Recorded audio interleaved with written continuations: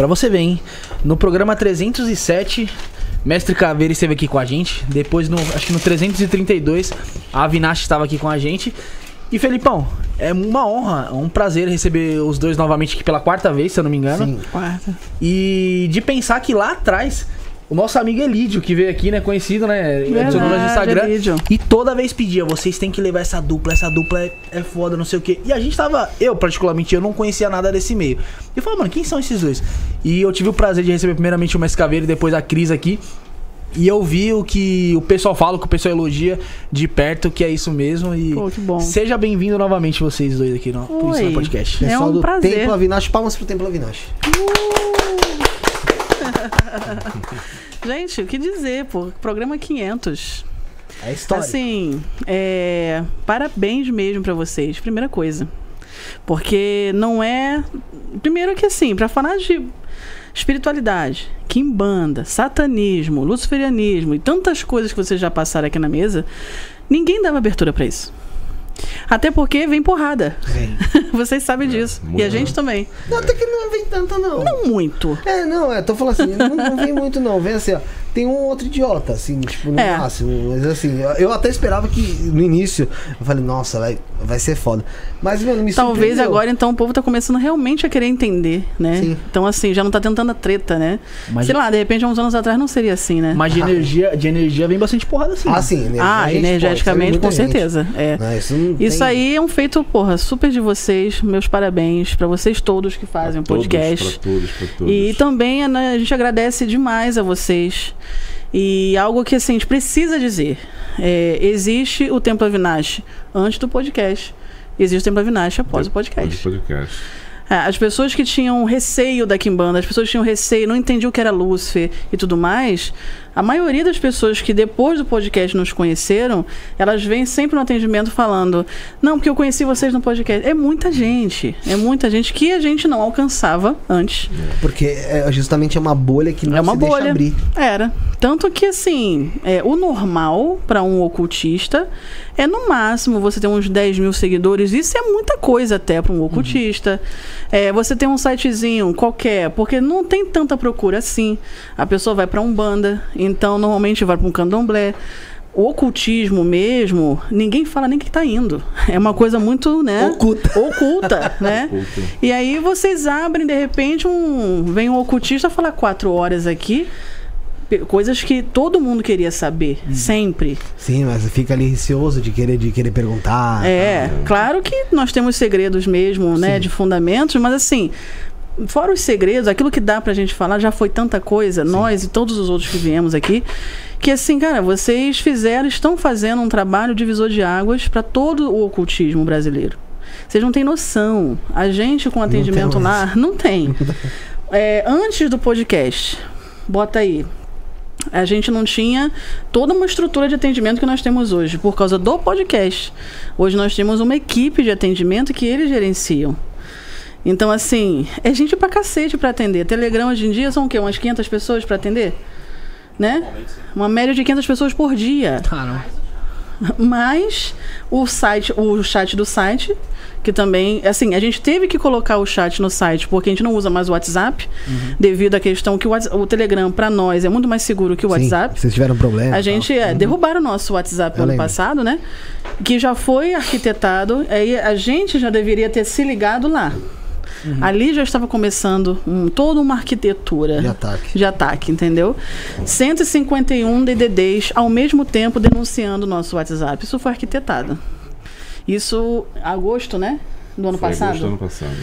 Tá, mas a gente já tinha um Telegram ali, já sabendo que poderia acontecer isso. Do podcast pra cá, antes do nosso atendimento, que a gente achava muita coisa, Uhum. que já não dávamos conta, eu e Kaique, sempre ali. Cento e poucas pessoas por dia, que já é muita coisa, claro. Pra caralho. E 400 e pouco, 500 e pouco, você 300 vai e pouco. aí você vai num- Domingo, que a gente acha que ninguém vai falar nada, não quer dentro de casa, É domingo pessoal aparece mesmo. é o tempo inteiro. Pô, você tem noção, pra você ter noção, eu recebo todo dia uma mensagem nova. Todo dia. Eu queria fazer um pacto, eu queria fazer não sei o que tal, achando que eu. Eu falo, não sou. Mas que programa que você viu?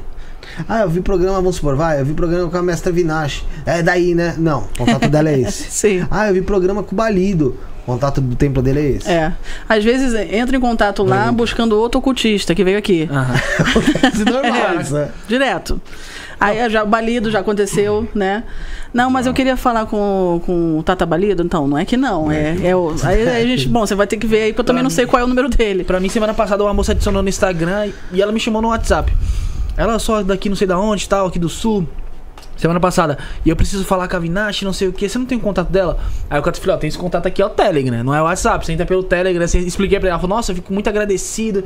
Mas ficou mal agradecido por ter, ter o contato da. Mano, Pô, eu fico impressionado que a pessoa assiste o programa inteiro. Eu, fa... É. eu tenho, meu, eu tenho esse número decorado, você viu? Decorou certinho. É, meu, Sim. 6782-5911. Eu tenho decorado o número. O pessoal vê a gente falando. Qual que é o telefone da Vinache? É bem isso mesmo. gente. E as Tá pessoas entram em também, contato gente? pensando que eu estou lá. Mas é toda uma equipe de Sim, atendimento hoje em dia, sim, né? Óbvio. Então, assim, hoje é, existe realmente o Tempo Avinash após o podcast, cara. Então, pra gente estar aqui com- no programa 500, pra gente também é uma honra estar aqui, tá? É, vocês são fodas pra caralho. Porra, obrigado demais. Vocês têm como crescer muito mais ainda. E, lógico, para todo crescimento sempre vai existir um, um caosinho sendo Sim, instalado para depois crescer. Isso é normal, é a dor do crescimento. É, é de- Né? desde a criação do mundo. É, Agora, é assim. eu, eu, eu vim em fevereiro de, Você- do ano foi passado, que- foi, que- o episódio 307. Que você tava. Você disse que Eu tava, tava não sem voz. conseguindo falar, tava sem voz. Aí, não, porque tô sem voz e tal, então deixa que eu vou lá. Primeira experiência com podcast. Primeiro que eu tenho que colocar aqui, a forma como aquilo aconteceu, tão natural, Sim. tão espontânea, e que em 10 minutos eu me senti muita vontade aqui. E podendo falar o que eu poderia falar naquele momento, né, e tentando né, desbordar do que não poderia falar, Sim, porque é sim. ocultismo, mas mais para poder falar da, da história, que eu acho que era interessante naquele momento. Depois ela veio, falou da história pessoal dela, eu dei uma pincelada muito leve na história dela, Sim. falou, deixa para ela contar. E desde aquele episódio, a nossa vida mudou completamente em relação Estamos morando em São Paulo, né? São Paulo. A Entendeu? Já trouxe o pessoalzinho de, Outra do- coisa. de outros estados pra cá. E, outra, e, o- e mais interessante nisso tudo, é, naquele episódio eu soltei o meu contato pessoal. Vocês lembram disso? Sem querer. E até o mês passado eu ainda tinha esse número. A média de contatos que eu recebo, no particular, era de 50 a 60 por dia. Mas o, o interessante não é isso. São pessoas dando depoimentos de que, olha, através do seu podcast, da Mestre de Nash, eu identifiquei com a sua, com a sua trajetória, né?